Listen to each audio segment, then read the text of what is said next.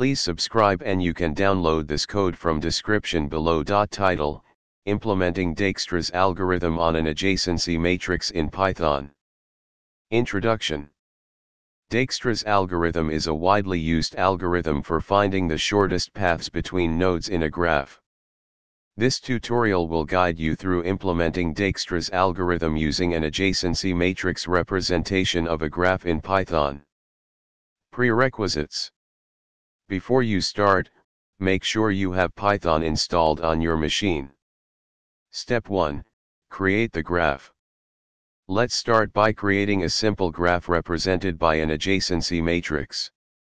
In this example, we'll use a 2D list to represent the adjacency matrix.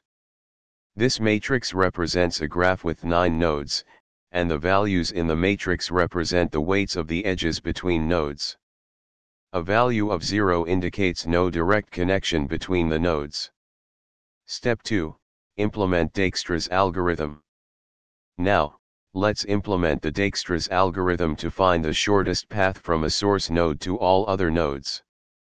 This implementation includes a helper function min underscore distance to find the vertex with the minimum distance value and a print underscore result function to display the final result. Step 3, run Dijkstra's algorithm. Finally, run Dijkstra's algorithm with the chosen starting node by calling the Dijkstra function with the graph and the starting node as parameters. Conclusion You have successfully implemented Dijkstra's algorithm on an adjacency matrix in Python. This algorithm is useful for finding the shortest paths in weighted graphs, and you can modify the example graph and starting node to suit your specific use case. ChatGPT